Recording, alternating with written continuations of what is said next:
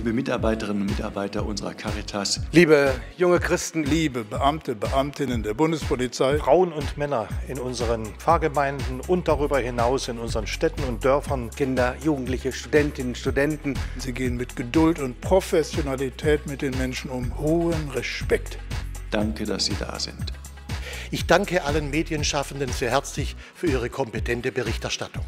Danke dafür, dass ihr jetzt kreativ werdet und euch engagiert. Ich danke allen, die in dieser Weise sich für die Menschen, die zu uns kommen, als gastfreundlich erweisen.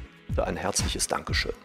Dafür möchte ich ganz herzlich danken, weil das ein wirkliches Zeichen der Offenheit, der Bereitschaft des Willkommens ist. Bei den Soldaten gibt es ein gutes Motto, für das sie ihren Dienst tun. Es heißt, wir dienen Deutschland.